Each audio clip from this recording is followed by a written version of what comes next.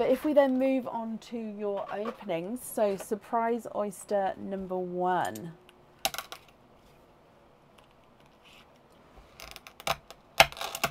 There's one side and the other side. And in surprise oyster number one, Wendy, you are quadding. You have got four pearls in that oyster. So let me dry these up for you. Yep, you do have a 25 pearl oyster as well. So let me go through these colours. You have got a darker deep TARDIS blue. Uh, you've got a darker gunmetal grey, slightly mottled with like these silver overtones to him. A gorgeous deep watermelon, really, really bright watermelon there. And a cream. Carly, yes, of course I can, that's not a problem. So TARDIS blue, mottled gunmetal, a watermelon and a cream. And then your last oyster, which again is your surprise oyster.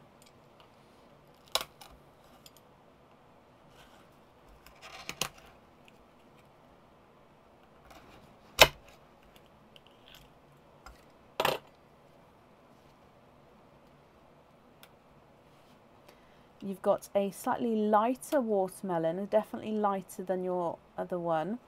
And there's no more in there.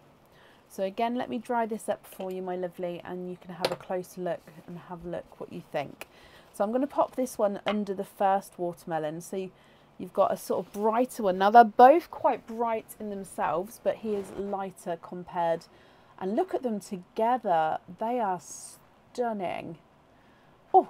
So you've got a pink and a multi-tonal chocolate, a slightly two-tonal brighter pink and another chocolate, TARDIS blue, gunmetal grey which is mottled, bright watermelon and cream, and then a slightly lighter watermelon. I'm just going to move these pinks under here so we can we can sort of see all the pearls together.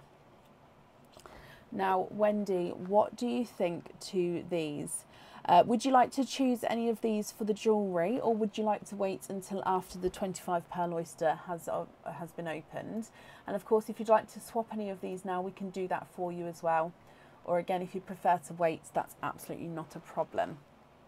And I'll just let you take a screenshot here as well, just in case you'd like to email me your choices across once we've opened everything up.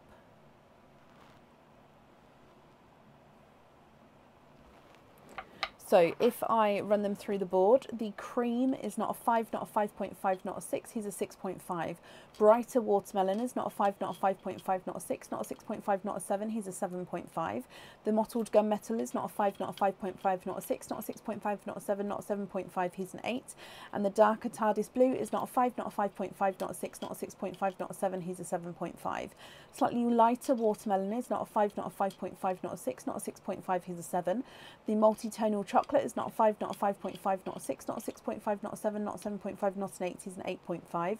And the lighter pink is not a 5, not a 5.5, not a 6, not a 6.5, not a 7, not a 7.5, not an 8, is an 8.5. Your other chocolate is not a 5, not a 5.5, not a 6, not a 6.5, not a 7, not a 7.5, not an 8, is an 8.5. And the two-tonal pink is not a 5, not a 5.5, not a 6, not a 6.5, not a 7, not a 7.5, not an 8, he's an 8.5 as well. So we're going to wait for the 25 pearl oyster. So I'm going to just take these out